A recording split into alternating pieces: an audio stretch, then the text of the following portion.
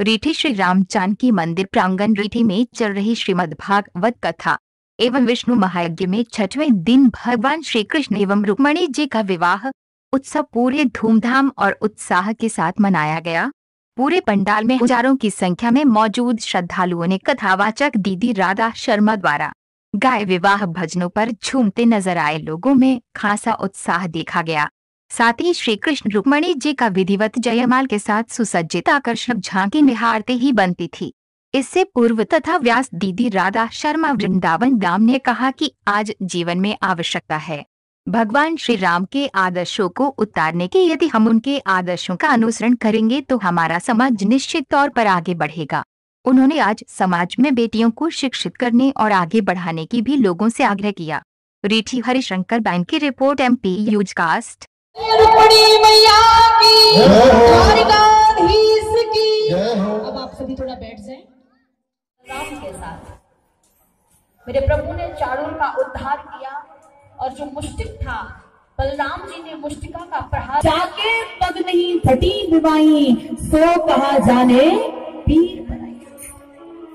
केसों को पकड़ा कंस चिल्लाता रहा लाला छोड़ कन्हैया छोड़। प्रभु कहने लगे, मामा, हम पे तो पकड़ वो याद है, छोड़ वो तो।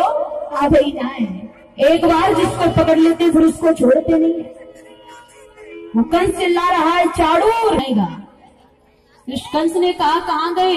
बोले, वहीं गए जहाँ आपका पहुँचना बाकी है।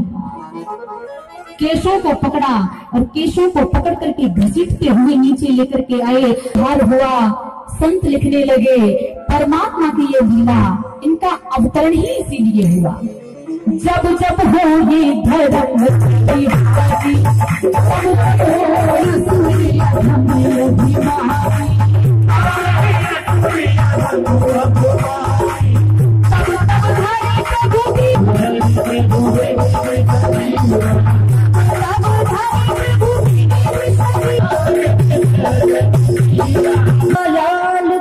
की आज कंस का उद्धार हुआ।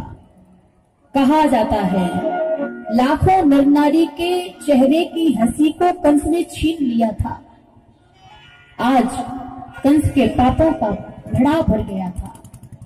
समय आया, उद्धार हुआ। उद्धार होने के बाद सबसे पहले भगवान श्री कृष्ण पहुँचे उग्रसेन नाना को मुक्त बात नहीं सुन पाई, मैं चला गया गोकुल में, मुझे क्षमा कर देना।